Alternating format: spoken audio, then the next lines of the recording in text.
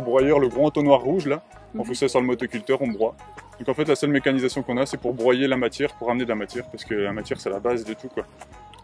Comme dit, je pense qu'on vous l'avez déjà entendu des milliers de fois, mais il faut nourrir le sol et pas la plante, quoi, parce que sinon,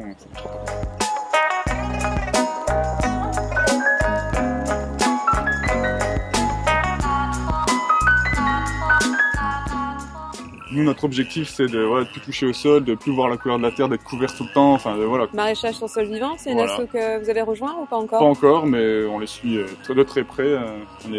Je sais pas si vous avez été chez Fabrice Meyer, du coup, à. Manspac, voilà. donc,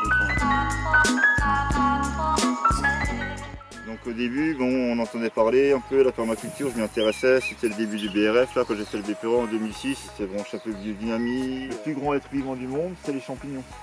Les champignons, ils peuvent faire, euh, je crois, jusqu'à 200 km de diamètre. Des rondes sorcières euh, énormes, quoi, qui voient- prennent en vue d'avion. Et c'est sous terre ça?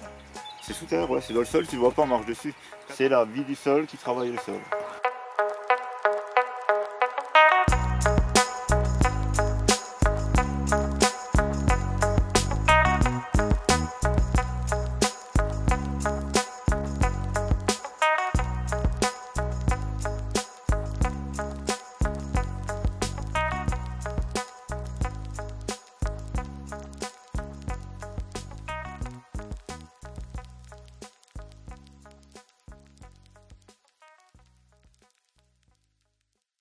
Je suis très très heureux de vous accueillir ici à, à Danjoutin.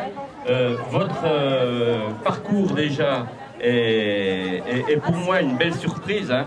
Cette idée de faire un tour euh, de France euh, sur, euh, je crois, 25 étapes au moins. Non, 30. Ouais, 30, 30 étapes, étapes. 30 étapes.